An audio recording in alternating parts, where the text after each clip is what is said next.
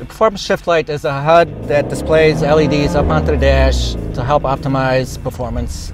You could set the shift point, you could set the intensity, and it basically gives the driver the ability to look straight ahead and know when to shift based on the settings that they've preset. There's tach mode for everyday driving, there's track mode that's used on the track, and there's drag strip mode for obviously drag strip. The benefit of this is to tell you the optimal point to shift and allows you to keep your eyes on the road.